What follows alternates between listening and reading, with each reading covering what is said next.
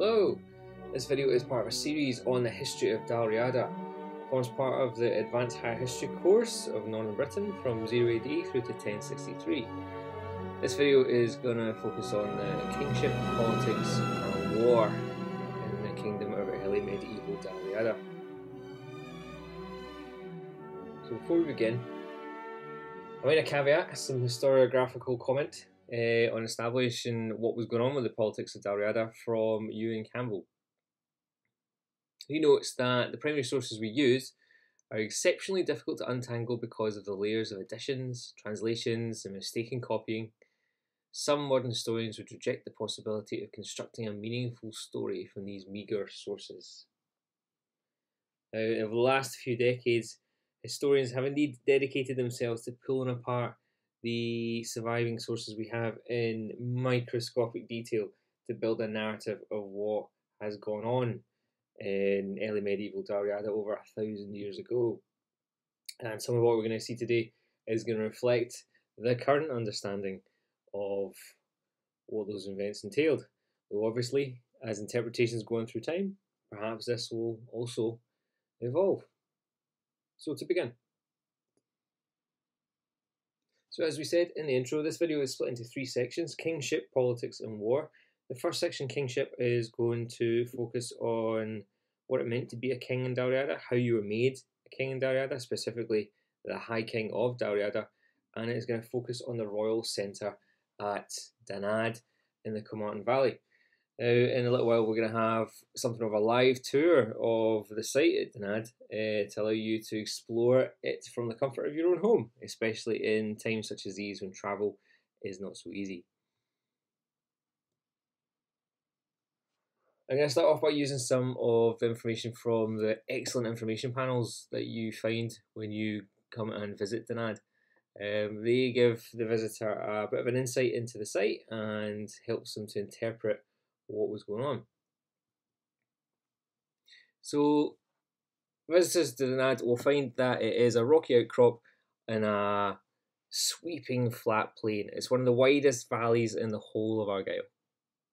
So, climbing the steep rocky path into the heart of the fortress, you will discover ruined ramparts, traces of buildings, and a citadel with views across Argyll. Famously, at the near the top of Dunadd is the inauguration stone where the High Kings of Dalriada were made.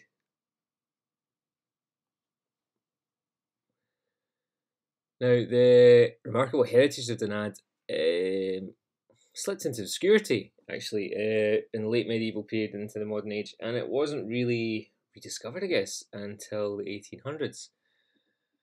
Now, the Gaels of Dalriada are known, or were known in the early medieval period as the Scotti. They are arguably um, the core, the seeds of the kingdom of Scotland or Alba that would come. And this is the very heart of their domain. It is a special place, and Dunadd is firmly rooted in an ancient ancestral landscape of Kilmartin Glen. Now, the early medieval kingdom of Dalriada was riffing off the already ancient history that fills that valley. They were using the the monumental architecture of the place put there by the ancients thousands of years before them um, to build up the prestige of their own royal centre uh, when Dalriada rose to its height. So, this importance didn't just fade away with the end of the Kingdom of Dalriada, it was still considered important enough for the reading of royal proclamations in the 1500s. That's even though the fact that hardly anyone actually lived there. Now, this reconstruction of something of what Dalriada may have looked like gives us a clue to how this site functioned. Now, where Kilmartin Glen is, although it could be difficult to get to Iona nowadays by modern cars and ferries and still represents quite the trip, the Royal Centre at Dunadd has close links to Iona it's only 37 miles away. In the early medieval period, Dalriada's roads were either uh, tracks or just about non-existent. The easiest way to get around was by sea. Argyll is an archipelago. It's a series of peninsulas cut by sea lochs um, surrounded by a spray of islands. The easiest way to get around to Argyll before modern roads came around was by boat.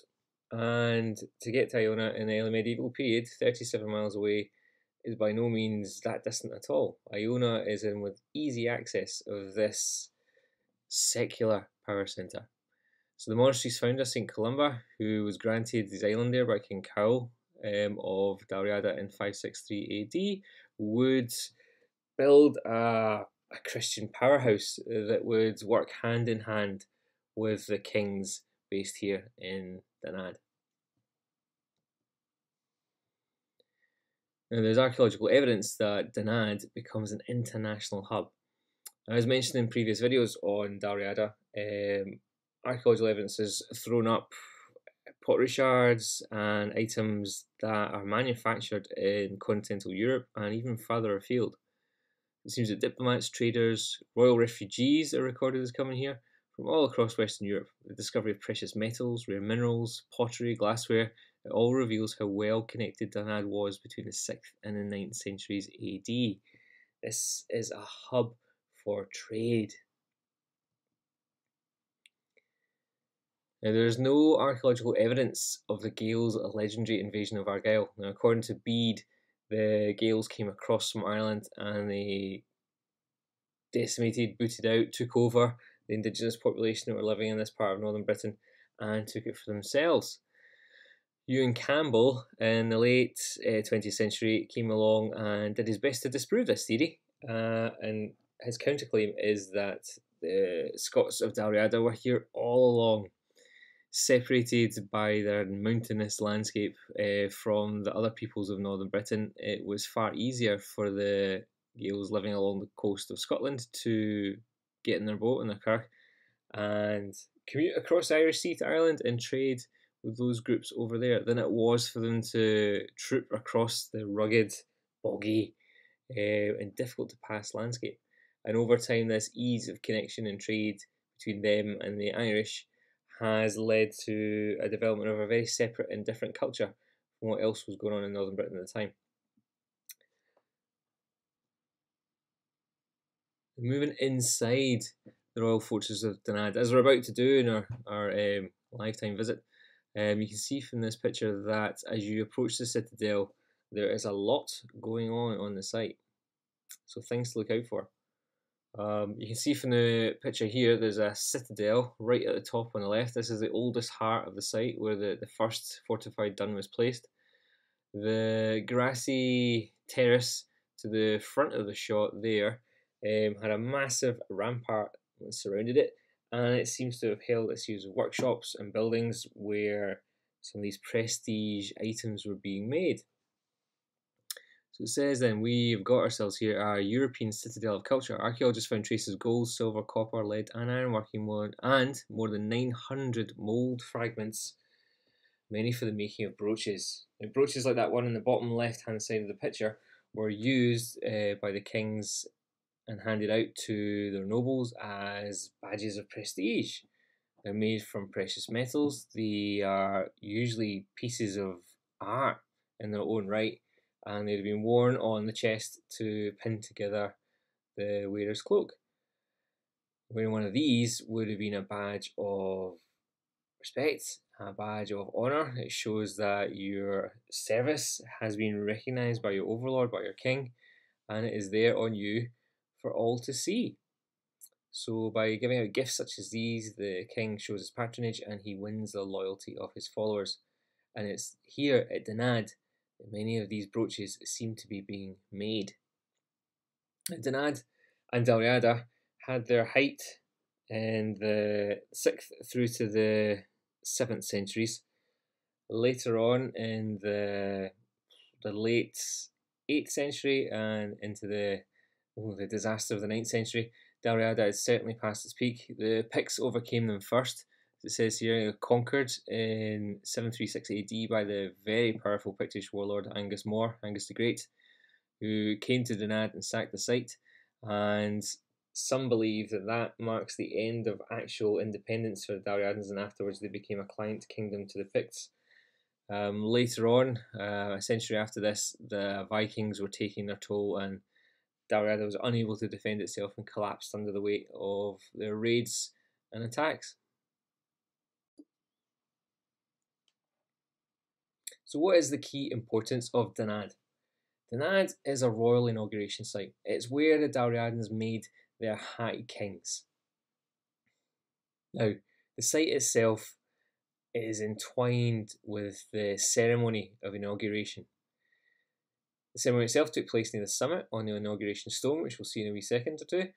It represents the king's marriage to and control over the land. On the inauguration stone, as he was crowned, the king would place his bare foot, we believe, into a carved footprint into the actual rock. It represents the king's physical connection to his land. It represents under his foot, the land is under his control. From the footprint where the action takes place, Ben Cruachan, the highest mountain in Argyll and in um, the domain of Dalriada, is visible. Dunadd is also surrounded by the densest concentration of early prehistoric burial monuments in northern Britain. The valley has a henge and a cursus, so a, a line of cairns and monuments all the way down the valley. It's a stone circle. It has standing stones. There are Bronze Age and older kist burials in tombs and cairns. There are chambered cairns, and there are ancient, ancient rock carvings um, scattered in places around the valley. This is a place that monumentally was important and was a site of prestige for thousands of years before Dalriada reached its height in the 7th century AD. And this is the inauguration stone, just on the shoulder of Dunadd Hill. Now, the slab itself was um, being eroded in the 1970s and it was causing alarm to archaeologists. So, what we see today is actually a replica, and a very, very good replica, concrete slab that was helicoptered in and placed directly on top of the original. It is made to be as close to what it covers as possible. It includes the carved footprint, which you can just make out in the, the middle of the shot on the slab. It also has a carved bore, a bit more on that later, and a rock cut basin right at the fore of the shot. It's possibly for libations um, by priests during the inauguration ceremony, and is an Ogham inscription, um, a little bit more on that too, um, that translates into Gaelic, not Pictish, um, that possibly represents or um, mentions the significance of the nearby occupants of the Kilmartin Valley to the, the coronation ceremonies that took place here. This shot here from the information panel right next to the inauguration stone gives a bit more information. Um, you can see in the bottom of the shot there are the three pictures. We've got the, the footprint and then we have the faint outline of the bore now, some historians um, have contended that the bore is graffiti by the Picts when Angus Mor came here in the 730s and conquered this site. This is the, the Picts going right to the heart of their enemy and graffitiing one of the most um, symbolically important places in the whole of their kingdom um, with what is a famously Pictish symbol. Other possibly more modern historical interpretations uh, point out that the, the boar is a Celtic symbol. It's not just limited to the Picts themselves. And as a Celtic symbol, it implies kingship and the most prestigious of power. And this is obviously the, the perfect site for such a symbol to be placed. This is where you made high kings. So why not have the symbol of a boar? It symbolises kingship. So the, the boar itself could be something that is older than the, the Pictish um, Vandals that came here in the 8th century. To the bottom right, there is, if you can see the little flecks in the, the stone next to those ridges, this is Ogham. So this is a script that was etched into, we think, trees and wooden logs, also onto the edge of uh, standing stones. Primarily in Ireland, there's a few examples of this in um, Argyll in the west of Scotland. Um, this is a very kind of basic script that um, is based on little hash marks like these against a, a central line, numbering between 1 and 4. They either cross the line or they're oblique to it or horizontal to it. depending on how they meet that um, vertical line, is how you read the, the symbols. So a little bit more on what those um, markings could possibly mean um, when we visit the site live. So in this section of the video, I am going to visit Dunadd and give you a bit of a tour of the site and interpret what is going on with the architecture of it. Now before we begin, I do apologise for my uh, choice of trousers going into this. Oh dear, what was I thinking? Um, here we go. Please do enjoy. The Hill of Dunadd in Kilmartin Glen in Mid Argyll is the royal centre of the ancient kingdom of Dalriada. On the hilltop behind me the kings of the different cenels of Dalriada would gather here to crown their king. Let's go and explore.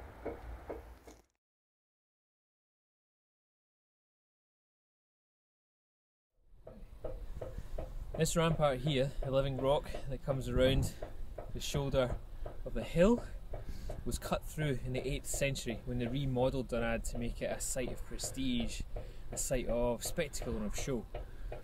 They cut the entrance through here, neglecting the old way in over that side of the hill, so that visitors approaching the Royal Citadel would look straight up and their line of sight was drawn to that grassy ridge just behind me. That is where the footprint site is. So visitors arriving into the Royal Stronghold will be looking up and watching the space where the kings of Dalriada were crowned. The language of prestige is really strong here. The site was remodelled to make a statement of power.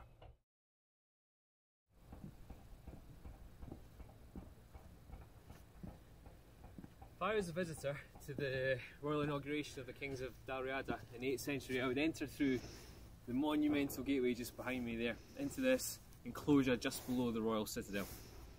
The rampart wall that runs round the circuit here on the shoulder of the hill would obscure my line of sight to the outside world. I would be contained within the world of the kings contained within the amphitheatre of this royal ceremony. This is all about show. This is about impressing the people that come to see the making of their new king.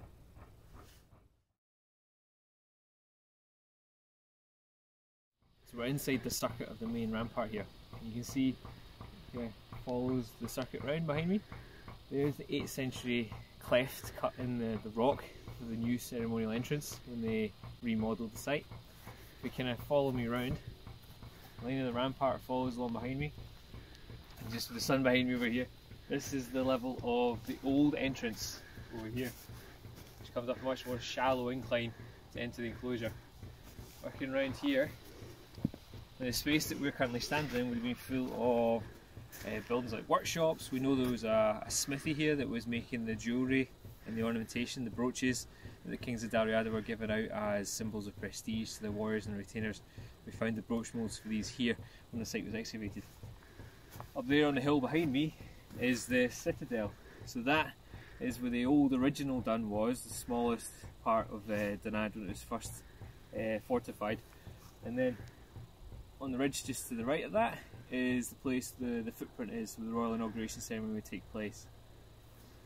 Over this side over here is the well, where the water supply for Dunadd was. And the cleft just to the side over there is the access to the citadel itself.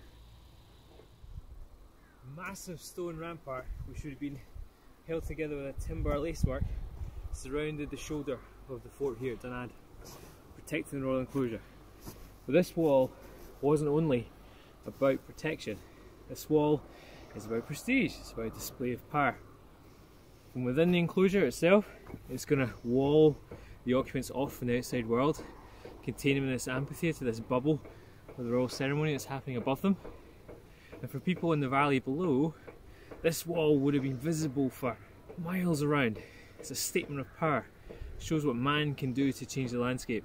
And it's a symbol of the power of the kings of Dalriada who owned this site. So this is the heart of the citadel. This is where the royal ceremonies to meet the kings would really come come to life. So behind the camera just now, down in the, the enclosure on the shoulder of the hill, we can imagine the king to be waiting with his retainers, ready to be called. And he make his way up past me, up through the cleft here, and onto the ridge of the hill there, the royal footprint waits, the inauguration stone where the king to be would place his foot to symbolise that he is now the master of this land. The king to be would make his way up here with the abbot of Iona to symbolise the acknowledgement, the support, the authority of the church, supporting the crown. We're waiting for him to enact the ceremony.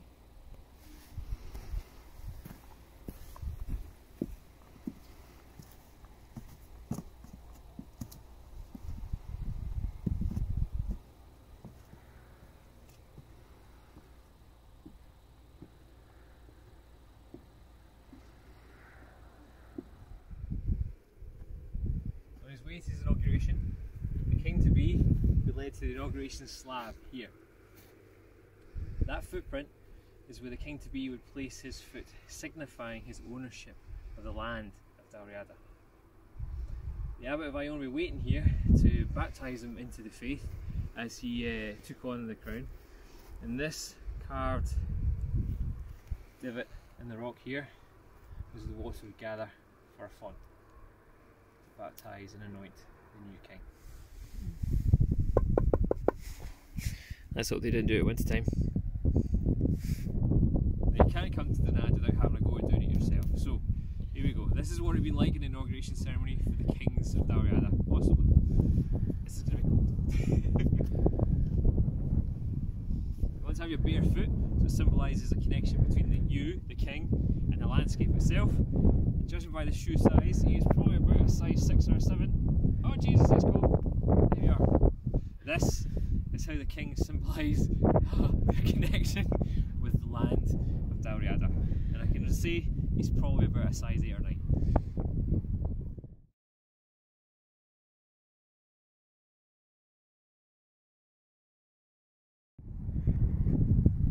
And this is the view from the top. The Moine the Great Bog. The land has been improved since the early medieval period, this would have once surrounded almost the entirety of Dunadd, protecting it from attack from land. Looking at some pictures at the top of the site, um, when you are standing next to the inauguration stone here, look at the view in the background. Kilmartin Glen is one of the widest open flat valleys in Argyll. To be fair, it is very boggy. Uh, since improvements in agriculture in the 18th century, it has been drained partly. But it gives you an idea of the view of these early medieval kings as they, they took up their crown on the inauguration stone. Look at what they see. They see the domain and it stretches wide before them. This is a striking relationship here shown between the ruler of the land and the broad expanse of his domain before him. This view is from the actual citadel, so right at the top of Dunadd, there's a surviving uh, fragment of wall up here. Now it's not sure um, if this area here was roofed. It's quite a large space to have had one single roof. And um, we believe there was a, a dun that encircled the top of the height of Dunadd. Um, this would have been, I guess, the royal enclosure where the, the king would have stayed or had his dwellings. And once again, in the background, you can see this the giant sweep of land that the kings up here would have been able to, to look down upon. It's a position of prestige and power. Anyone approaching Dunadd would have had to look up and seen the, I guess, the, the spot where their king lived. This is quite a crude digital reconstruction of what Dunadd may have looked like. It's a few years old now. Um, but it's quite difficult actually to come across many reconstructions of what the site could have looked like. Um, you can see the, the structure, the dun right on the, the summit of Dunadd is in this one, roofed anyway, but you can see looking at just how big that roof would have had to have been to have covered the whole part of that site. And there's a representation of the massive monumental rampart that surrounded the terrace, and you can see some buildings where the jewelers and the metal workers may have worked down at the bottom. Just above where the fire is shown as smouldering away, um, there's a hut in the background behind the smoke. Next to that is the well that would have provided drinking water for this site. So, who are these men that are becoming the High Kings of Dalriada? Dalriada was a kingdom that was divided um, into cenels or kennela. Now, the whole footprint of Dalriada is pretty close to modern day Argyll. Um, but in the early medieval period, this is not one big unified kingdom. These different cenels all vie for power um, to put their man or their king forward as the, the High King of Dalriada and to, to rule the wider space. Um, certainly earlier on in the, the recorded history of Dalriada, it doesn't seem to be that the, the High King of Dalriada actually ruled the entirety of what is shaded in the map here, um, although that seems to have been the case um, perhaps from the 8th century onwards.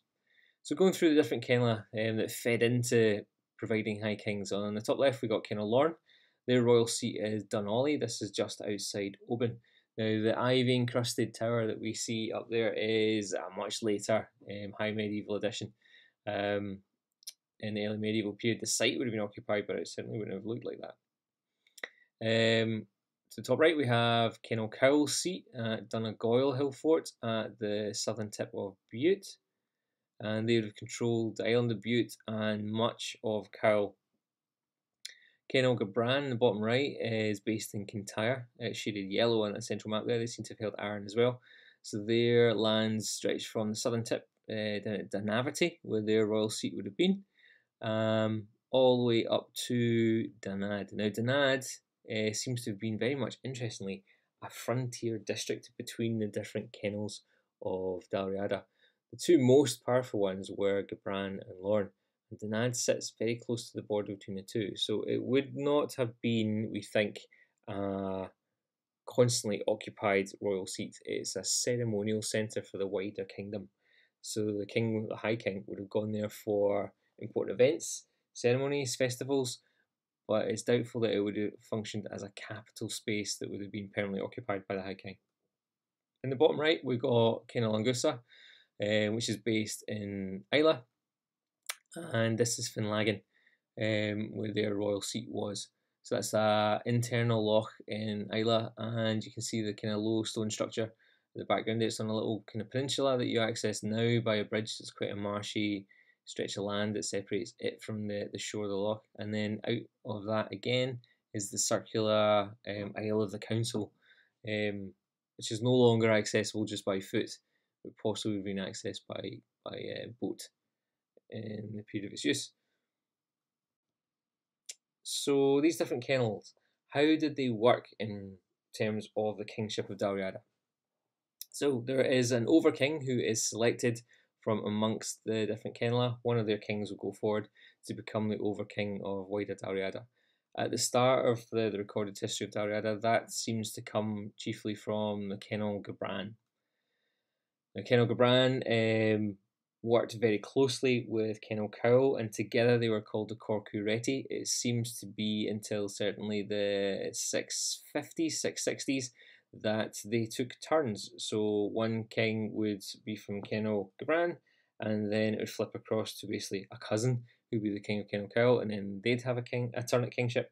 And then when the, that king died, it would revert back to the other cenel, and it would go back to Cenel Gabran, and so on. They were supposed to share from one family line to the other.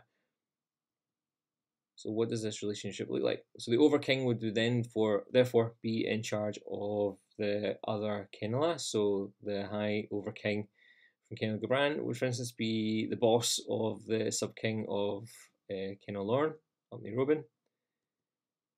This is how the system authority works. So the king would be in charge of his own local uh, aristocracy within his cenel, and they would have oversight over the peasants who would pay their dues and taxes to the aristocracy, who would thereafter pay their dues and taxes taxes to the sub king, who would then pay respects to the over king. So the over king provides their subjects with protection because they can call in the wider army. They judge disputes between the different um, nobles and sub kings across Dalriada, and they held feasts and they gave gifts. This is all about the contract of respect and um, service. So the king provides a service to his people, and in return, his people pay him respects and loyalty. So this process is replicated in the other Kenla and within his own. So we've got the sub-king of Kenal Gusa and the sub-king of Kenal Kel, all paying respects to the over-king. And in return for his gift of protection, judgments, and patronage, the Kenla have to provide warriors for ships and they provide tribute to the Overking. The Overking needs resources if he's going to be handing out uh, gifts to his nobles in the form of his patronage. When it comes to times of war or raiding, um, based on the number of people that live in the, the cenel, then they have to provide a number of ships or fighting men. There's a document we're going to come across called the Senchus Fer n'Alban, which uh, is going to, oh, the next slide, tell us how much exactly each Kenland needs to provide to their Overking. Now, Dalriada went through a, quite a seismic political change in the 8th century. Um, Cenel Gabrain and Kenel Kel had shared between them uh, the position of Overking for the early years or decades of Dalriada's height. Um, then, from round about the, the later um, 7th century and certainly into the 8th, Cenel Loairn uh, rise as the major power in Dalriada, and the overkingship is more chiefly held by them, and Gabrain starts to fade uh, in power.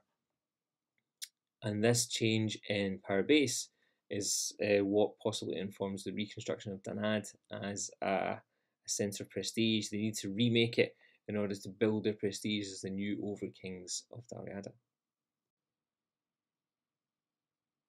So the Senchus Fer n'Alban is the history of the men of Scotland. It's compiled in the 10th century AD, um, but it refers to information about Dalriada, its accounts, its statistics, its records um, from as far back as the 6th century AD. Its purpose was to assess the fighting strength of each area, to assess tribute due from the households, and it lists family subdivisions and the number of households in each of the Kenla of Dalriada. Each family supplied a quota of warriors for the navy as well. So it's an example of administration. It's evidence of quite a sophisticated, literate kingdom. Now here's an excerpt from the census. It's actually quite a short document, even though it's historically extremely important. Um, it's not very long. But here we go. Um, it says Coiled Up has 30 houses, Ewan Garb has 30 houses. His wife is Crodu, daughter of Dallas, son of Ewan, son of Niall. Ferna has 15 houses. Ewan has 5 houses. And Beitan has 5 houses. Interesting, some of those names um, are still familiar to us today, more than a thousand years later. Some, obviously, like Beitan, clearly have had their day. But this is a record of who is living in the kingdoms of Dalriada. Um, so in itself, some historians have used it to work out and estimate the population of Dalriada and what that must have been. Historian Leslie Alcock um, estimated using the Senchus Fer n'Alban that the population of early medieval Dalriada must have been around about 20,000 people um, who would have been able to provide soldiers for an army of up to 2,000 strong. Now, a document like the Senchus Fer n'Alban shows an advanced society it is the, the first census on the island of Britain, certainly since the Romans um, cleared out. But it shows that they have a royal household who are keeping records of their kingdom uh, is evidence of a development of a bureaucracy. This is a sophisticated government. These are not just a bunch of armed thugs threatening people and making wars on everyone they see. This is an ordered state with structure, with laws, with records. It almost sounds a bit modern. They must have had literate officials in the king's retinue, and herein we see the benefits that uh, Dalriada's close association with the Christian monks of Iona um, has brought. Monks are literate, they read and they write, and they are therefore skilled individuals, educated individuals that bring side benefits to any kingdom that they work with. The side benefit here for Dalriada is that the literacy of the people working at the top of the domain or with them in terms of the priests means that they've been able to develop this bureaucracy, this tightly structured system of records, gives them an awareness of their kingdom, and it must have made rulership of these lands much more efficient than of the lands that bordered them. So kingship is, in early medieval Dalriada, quite a modern institution. The second part of this video is going to look at the politics of Dalriada. So what was going on in their relations with the neighbouring kingdoms of northern Britain at the, this time. One of the things that jumps out straight away is the alliances they made. There were numerous political marriages amongst the elites of Dalriada, and this is common for most of the northern British kingdoms. During their height in the late 6th century, uh, through to uh, the end of King Aedan's reign in 609 AD, um, we hear that King Aedan himself married several times, and it wasn't he was replacing dead wives with new ones, it was he had several on the go at the same time. We know that St. Columba was a bit salty about the fact that Aedan was married more than once, but he seems to have married British and Pictish princesses. So he is making marriage ties with more than one neighbouring kingdom at a time. Aedan's own daughter was married to an Irish king, so we can see that he is not just staying mainland Britain, he's also got his finger in the pie over in Ireland as well, with all its many different uh, minor kingdoms. So there is, however, a bit of a questionable authenticity about these accounts, we need to be a wee bit careful with them. It was convenient for later historians to go back into the histories of these domains and insert false members of genealogies um, to create marriages to show supposed historical links that would substantiate uh, the kings of the days when they were writing. So it may have been useful for someone in the 10th century to have been related to one of the almost legendary famous kings of 7th century Dalriada, so they would insert some fictitious link. Historians are getting much, much better at being able to spot these late insertions, but we still need to be a wee bit careful with what's going on. But however, from this, it is it's still clear that political marriage was an important form of alliance building in this period. Alliances were also made through political guests. Northumbrian princes Oswald and Oswiu lived in exile in Dalriada in the early 600s. They were guests of the Scottish king. Now, this politically ended up having massive importance for the next hundred years of history in northern Britain. So it was here that Oswald was converted. He'd arrived as a pagan Saxon, but he took Christianity back to Northumbria with him when he returned from his exile. Now, Oswald and Oswiu became massive in terms of their importance in Northern British history. Oswald's father, Athelfrith, was a successful Bernician ruler. Now, on our map here, we got Northumbrians marked on the northeastern side of what we would recognise of as England. Um, but Northumbria in AD 600 hadn't quite come into existence as a unified kingdom yet. It was made up of two kingdoms. Bernicia, you can see up in the top right, um, where modern day Lothian and Northumberland is. And then south of that, we've got Deira, which is modern day Yorkshire. So, Oswald's father, Ethelfrith, was a successful Bernician ruler who, after some years in power in Bernicia, also managed to become the king of Deira. And thus, he was the first to rule both of the kingdoms, um, which would become uh, Northumbria in time, but haven't quite arrived there yet. Now, Athelfrith, who was for years a successful war leader, especially against the native British, as we can see marked to in grey to the west of the Saxon domains, was eventually killed in a battle uh, around 616 by Redwald of East Anglia, uh, which is modern day kind of Norfolk and Suffolk. So this defeat meant that an exiled member of the Deira royal line, a man called Edwin, who was Oswald and Oswiu's uncle, um, became the king of Bernicia and Deira. Oswald's mother, Queen Acca, fled north. She knew that if Edwin got his hands on his nephews, he would have to kill them because they're obviously going to grow up and become rivals to him in the future. So she flees and she ran northwest and she ends up uh, in Dalriada. Now, Oswald then spent the remainder of his youth in the Scottish kingdom of Dalriada. He was converted to Christianity by the Owain monks he was raised in the, the Dalriadan way, and he was also trained as a warrior by the Dalriadans. We think he may also have fought in Ireland during this period of exile.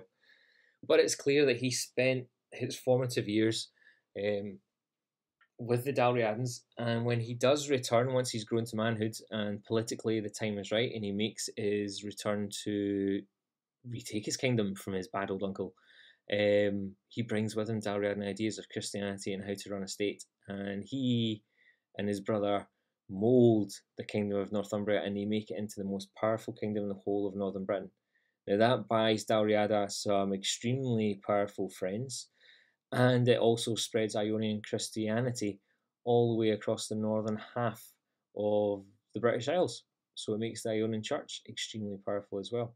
So we can see the alliances that Dalriada is building are having quite a widespread effect upon Northern Britain and are also very good for building their prestige and their wider power. Another example of alliances are diplomatic missions. We know from Adomnan's biography of Columba that he visited King Bridie of Pictland. So Iona is on the west coast of Scotland, obviously just west of uh, Mull and it seems that Columba must have made his way across Mull up into Appin at the bottom end of Loch Ness, up the Great Glen, as we can see in the, the picture on the right of the slide here. Um, and he's made his way up to the royal centre of the Northern Picts at Craig Phadrig. You see a reconstruction of their hill fort in the bottom right, um, where Bridie has his seat. Now, ostensibly, Columba went there to try and convert the Northern Picts to Christianity. Although whether or not he's successful is ooh, a bit of a moot point. But it does show, however, that there are important uh, leading figures within the Dalriadan domain who are on missions to create links with their neighbours. Like Columba was a busy man. He was abbot of Iona for 34 years and he became an extremely respected figure. Remember, he wasn't just the abbot of Iona, he was also a Northern Irish prince um, so he brings a lot of political uh, prestige um, with him um, in terms of a secular background as well as, as his religious one. So Columba was present at the Convention of Drumceat in 575. Now that was in Northern Ireland at Limavady. Um, it seems to be where King Aedan of Dalriada formally separates um, Irish Dalriada from his kingdom and two are able to politically go their own way. Dalriada of Northern Britain um, still has a role to play in Northern Irish politics for many years still to come. Um, but being able to pick apart just who's in charge of what, it sometimes can be quite tricky. They have very close ties to their um, Irish cousins. Now, Domnan, the biographer of Columba, the man who wrote his life story, um, was also asked by a king of Ireland to secure the release of hostages from the Northumbrian king Ulfrith. He gave Ulfrith his book, The Law of Innocence, and the hostages were released. So once again, we see important figures within the, the kingdom of Dalriada working on the international stage. Now, swapping a book for some prisoners may seem a bit of a kind of mm, bum bargain nowadays, but bear in mind just how valuable books were in the early medieval period, what they're made of vellum, of cowskin, represents literally liquidizing your wealth. Um, so remember, this is a, a state that doesn't use coin um, for barter and exchange. We use um, items to swap, and cows are one of the most precious items available at the time. And they're a source of food. They're also a source of resources like their skin, which we turn into leather or stretched out to make vellum to write these books on. So Domnan giving a book to a king is actually um, quite the treasure that has been exchanged for these prisoners.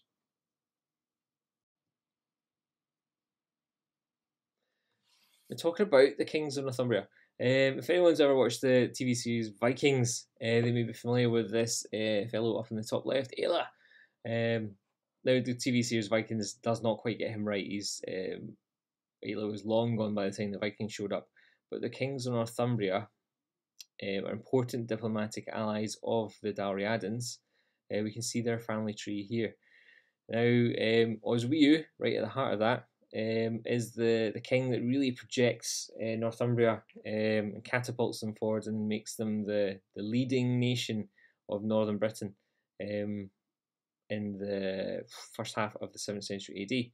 We can see um, on the family tree just to the left of him is older brother Oswald, Now he was in exile with Oswiu and Dalriada, and the two returned to uh, northeast England at the same time together. Oswald, as the elder brother, got to be the king um, first of those two, um, though he was killed by a pagan king called Penda. And then Oswiu took over, and he really uh, transformed Northumbria's fortunes. You can see in amongst them there's another brother, the second one, Eanfrith. He went into exile with um, the Picts, and he came back to uh, try and uh, play his hand at getting his crown back, and it didn't work out quite so well for him. Um, Oswiu had two wives. The first one, whilst he was in Dalriada, interestingly, building relationships again, he seems to have married an Irish princess, Finn. Um, all this was disputed by later historians, and they had a child called Aldfrith. Uh, when Oswiu went back to uh, Northumbria, he left um, Finn behind, and he married, um, somewhat creepily, his cousin Eanfled, um, his uncle, who was deposed by um, Oswald and Eanfrith, um, to keep his uncle's, I guess, followers on side. Um, Oswiu marries his uncle's daughter, and they produce many, many children. And you can see down the bottom there, uh, a series of them will get to be the, the following kings of Northumbria. When that side of the line dies out in 685 with the death of King Ecgfrith when he came up to fight the Picts, um, they cast around looking for other members of the royal family who could take over, and they found this semi-disputed child to the Irish princess, um, a man called Aldfrith, and he gets to become the, the next king of Northumbria. Um, so we can see that Dalriada plays quite an influential role through diplomacy and the alliances it made um, in the kingdoms round about them. Another um, example of the political influence of Dalriada can be seen in Adomnan's Law of Innocence, so the Cain Adomnan. Adomnan, as Abbot of Iona, was apparently visiting Pictland uh, when he came across a battlefield, a recently vacated battlefield, and on it he saw the dead body of a woman who'd been taking part in the fighting. Next to that woman's body was a screaming child, her child, um, crying over his dead mother. And Adomnan was so moved by what he saw that he proposed that women should not be put in harm's way, should not be allowed to fight. And this law would become the law of innocence. Now, he managed to get over 50 kings in northern Britain to agree to this and to sign it. 50 kings. So that shows, first of all, just how fractious politically Northern Britain must have been. That's an incredible number of kings. Um, but secondly, it also shows the influence of Dalriada, the influence of Adomnan and the, the Church of Columba at that time to get so many people to sign up to something that potentially had such a, a seismic effect in changing what was going on in society. The third aspect of this video looks at the Dalriadan involvement with war. So based on the records we have for them, where are these wars taking place? It seems that the Dalriadans were mostly friendly with the British kingdom, so that uh, really means the Brits of Altclut, the ones based at Dumbarton Rock, which would later become the Kingdom of Strathclyde. They are often at war with Pictland, which for Dalriada is to the north and to the east, and there seems to be a measure of infighting which took place within Dalriada between the different cenels. It often wasn't a smooth transition from one overking to the next. Once the overking was in place, they were not usually challenged, although there are examples such as Domhnall Breck in the 630s into 640s, who was so fantastically bad as a king. He's not recorded as winning one single fight, that he seems to have been overthrown and replaced um, by another cenel infighting often seems to happen between the kindreds. There are accounts of battles between Cenel Gabrain and Cenel Loairn, sometimes on land, sometimes at sea. So why are they fighting so often? As you can see on this map, there are various arrows which show where the Dalriadan armies seems to have swept across. Why are they fighting so much? Some of it seems to be raids for economic gain. Their main source for what's going on in early medieval Dalriada is that Irish Annals. So it's the chronicles kept by monks living at various different Irish monasteries. And the monks record certainly the death of kings and princes, they record wars and significant battles, but they don't really often record raids. It seems that raids were a part of early medieval society, an accepted part of early medieval life.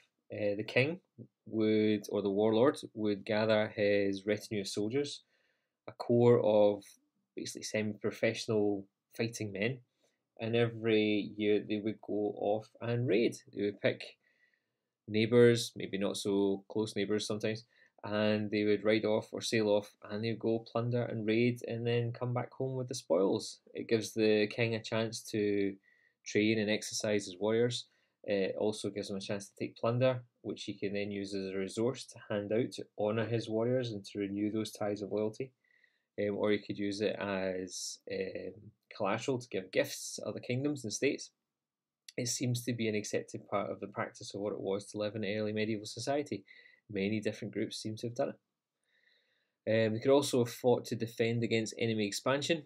Um, the politics of northern Britain mean that some kingdoms come, some go, power of different groups wax and wane, and this often comes hand in hand with wars and invasions and fighting.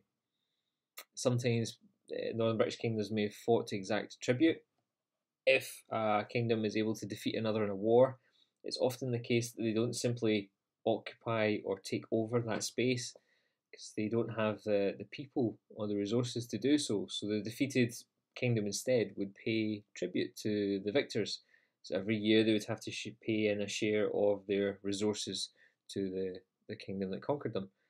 Um, and sometimes that um, promise may need to be backed up with military action if they're trying to get out um, from under the thumb of the people who defeated them warfare was not for the expansion of Dalriada. As I said, the population of Dalriada, which is about the same territorial scope as modern day Argyll, was around about, we think, 20,000 people. They don't have the manpower on the ground to spread out and to occupy vast swathes of northern Britain. So even though, as we can see on the arrows here, that they are campaigning away in Orkney, they're in what we would call modern day England, so they're fighting over in Northumbria. Um, the Dalriadans are not conquering and keeping that land between Dalriada and the places where they're going to fight. They're going to try and win power and authority over these kingdoms, but not to expand and to take the land. They don't have enough warriors and people on the ground to stay and to occupy these places. So these are not wars of expansion. So, how did they fight? What do we know about them? According to the census, uh, the 10th century document, in the AD 600s, um, Dalriada had 2,000 or so fighting men available. Now, those are the ones that are legally, according to the census, supposed to turn up to fight. It may have been that the army was bigger or smaller, depending on the ups and downs of the population, but also on how popular the king was um, at the time. So, a powerful, well respected king may have attracted additional people uh, other than the ones who just had to show up to come and fight for his army. Maybe there was the promise of plunder, the promise of glory and success, or maybe it was a battle that the, the kingdom were, were motivated to fight. Um, they're on the king's side. Sometimes the king may have had the wealth to employ mercenaries to come and augment his army as well. So the 2,000 men suggested by the census is by no means a fixed figure. It seems that they travel by boat as I said before, Argyll is an island archipelago, so the, by far away the fastest way to get around from place to place is to go uh, by water. So they travel by boat in curraghs. There is a reconstruction of a small one on the right. Curragh is a wooden frame with a leather skin stretched over it. Now, in the days before life jackets, I don't know if I'd be super trustworthy of this, but um, in a notable bit of experimental archaeology, they had a go at rebuilding one of these and they sailed it over the Pentland Firth. So they sailed from Orkney across one of the most dangerous stretches of water in the British Isles to the Scottish mainland. And just a bunch of archaeologists paddling away, and they all made it alive. So these things are watertight and they are seaworthy. Uh, this seems to be what they used. The, the the benefit of boats like this is that they are light, so you can paddle your way across one loch haul the boat out of the water, turn it upside down, carry it above your head, over the next peninsula, into the next loch, and do the same there and get quickly around without having to sail all the way round the end of peninsulas to get back up the other side. So they are portable and very useful vessels to have. So the Dalriadan army seems to travel by boat. Um, so we've got curraghs like this one for raiding parties, wooden ships for supplies, so obviously much kind of bigger and sturdier. Um, we also got the seven bencher curragh. It needed 28 oarsmen to power it along. There's a cut down version of one down the bottom there, what it could have looked like. Um, those oarsmen were provided, according to the census, by a group of 20 houses. Overland marches were not as common. For weapons, the basic warriors seem to have used spears and bows, although armour, because it involved quite a lot of metal, which would have been expensive and quite a prestige item to, to have had. Um, armour is probably fairly rare, um, although padded jackets, leather armour may have been common. The aristocracy, um, with their access to better resources and more money, would have had um, swords, um, obviously higher meta, metal component, and crossbows uh, to use as well. Set battles seem to have occurred with hand to hand combat. We know that from early medieval poems like the Gododdin and the Beowulf, and archaeological evidence and accounts from the, the early annals show us that sieges occurred of forts. So there is quite a culture of warfare um, around in the early medieval period. Now, one of the most warlike and successful kings of Dalriada was Aedan mac Gabrain. He was uh, king from around about 574 to 609. It's an incredibly long stretch for a king of this period, and he really, really took Dalriada forward. So he established its autonomy from the Irish Dalriadans, and he campaigned in Orkney, he campaigned far, far into Pictland, and he even tried to combat the rising power of the Saxons of Bernicia um, by leading his army as far afield as Degsastan, which we think, according to Alistair Moffat, certainly was in the modern day borders um, of far south Scotland. Unfortunately for Aedan on that day, though, he stretched his neck out too far and he lost that one. Um, which really, really actually signalled the beginning of the slow decline of Dalriada. This was the very, very height of their power, around about AD 600. We also have an account in AD 719 of a naval battle between the Gabrain and the Loairn as they wrestled for control of wider Dalriada. So it shows us that the Dalriadans were fighting sea battles as well as land battles. Now this image here is of Vikings obviously fighting in their longships uh, rather than Dalriadans uh, shown on the left there. It's actually quite hard to get some illustrations of Dalriadan naval battles for some reason but it maybe gives us an idea of what a battle at sea would have been like in the early medieval period. And there might have been a bit of missile fire with bows and arrows as the two um, fleets approached each other. But when it came to the actual contact, the, the boats would pull alongside each other and the men would fight hand to hand um, as they tried to fight from boat to boat, taking control of the, the ship of the other side and forcing their soldiers over the side. It was warfare that eventually leads to the downfall of Dalriada. In AD 790s, a new type of people arrived the Vikings. Now, this lot are going to be devastating to Dalriada. The first recorded hit of the Vikings on Dalriadan territory was uh, a strike in 795 on Iona. Within 50 years, the kingdom of Dalriada would collapse under the weight of these attacks. They made everyone flee from Dalriada. They had to abandon the coastline as the Dalriadan armies, as they were, were not fast enough to respond to Viking raids. When the Vikings first came, they came as raiders. They would come out of nowhere with no warning. And we got boatloads of dozens of heavily armed men landing, attacking a community, and able to disappear within a couple of hours before the Dalriadans would even be able to do anything about it. So this destroyed the the bond of obligation and that we saw earlier on the video, where the overlords would protect the people. Um, they no longer could protect them, and the Vikings showed that the, they were not capable of that. So the peasants lost faith in their lords, they retreated from the coasts where it was dangerous to be because the Vikings could appear out of nowhere and just come and take you, enslave you, kill you, steal you. Um, and therefore, Dalriadan society just began to break down. People literally fled eastwards um, over the mountains and into Pictland to get away from the Vikings. Most of them did flee, including the elite and the aristocracy of Dalriada, but not everyone. This may be familiar to some, is Old Castle Lachlan. Now, the MacLachlans represent one family who didn't. MacLachlans were the Dewars. They, according to Ewan Campbell, are the last vestige of Dalriadan royal authority left in Argyll. Some families stayed behind while the rest fled to keep an eye on the treasures and the holy places of their kingdom and their lands in the hope that one day they might be able to come back and retake their old ancestral homelands. Now to finish off our video, a bit of historiography and comment from Ewan Campbell. And the reason we keep talking about Ewan Campbell is this man is a giant in the field of Dalriadan history. He has worked on um, Dalriada for decades, and this man knows just so much about it. So, according to Ewan Campbell, Dalriada was not an obscure peripheral place, but it held an important place in the artistic, intellectual, and political life of northwestern Europe. Some of the artistic achievements, such as the Book of Kells and the Iona stone crosses, are among the world's greatest works of art.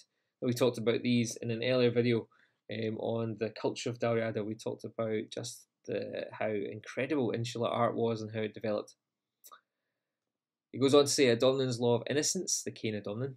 It was the precursor of human rights legislation. It was a product of intellectual study combined with spiritual feeling. And Campbell's hit it on the head in terms of what's going on in um, the monastery at Iona during the, the height of Dalriadan power we have a centre of learning here, a centre of education and culture that is disseminating its ideas across the kingdom of Dalriada and further and beyond. So it makes Dalriada a kind of heartland for ideas um, that are spreading and filtering out across northern Britain. Those exiled Northumbrian princes who grew up um, within Dalriada took these ideas with them as they went back home to their own kingdom in Deira, Bernicia, which would become Northumbria.